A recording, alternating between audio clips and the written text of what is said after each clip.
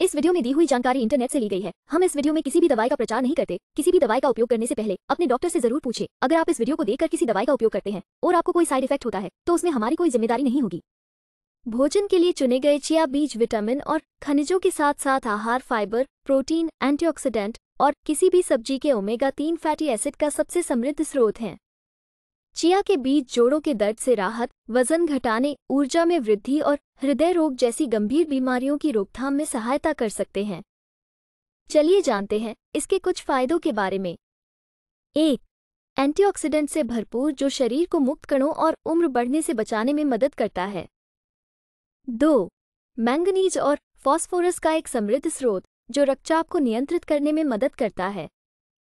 तीन चिया के बीज में उच्च प्रतिशत में कैल्शियम पाया जा सकता है, जो उन्हें आपकी हड्डियों और दांतों की मजबूती और स्वास्थ्य के लिए अविश्वसनीय रूप से फ़ायदेमंद बनाता है।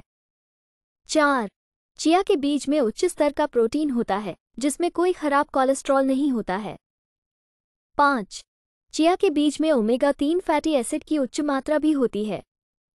यह आपके मस्तिष्क के कार्य और समग्र स्वास्थ्य में सुधार करता है। वीडियो को पूरा देखने के लिए धन्यवाद। अगर आपको वीडियो अच्छी लगी हो तो वीडियो को ज़रूर लाइक करें। साथ ही हमारे चैनल को सब्सक्राइब करके, नोटिफिकेशन बेल को और नोटिफिकेशन पर सेट करें।